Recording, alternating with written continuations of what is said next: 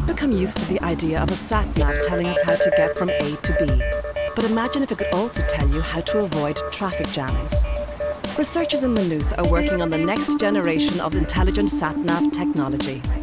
It would be very useful as you're driving along with your sat nav to know what the traffic conditions are like ahead of you.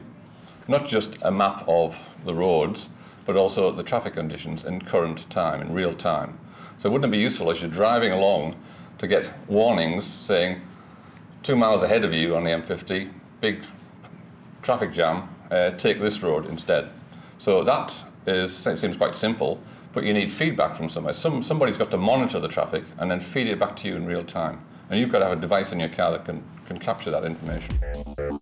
Stewart Fotheringham's expertise is in the capture, analysis and display of spatial data.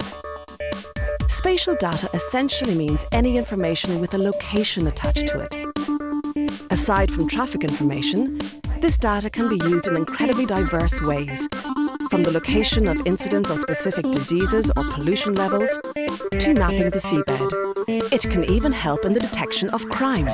Looking at patterns of burglary, for example, can we diagnose something about the modus operandi of the, of the, of the, burglar, of the criminal, from the patterns which are being displayed? In fact, some of the police forces, particularly in the UK, have used people to do this for serial killers, looking at the, the pattern of the crimes as a clue to perhaps where that person lives.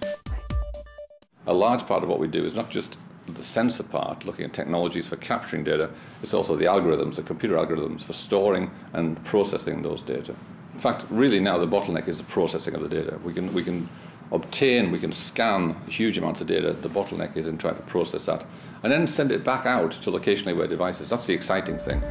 Stewart and his team are working on the development of software, which will be used on devices such as mobile phones.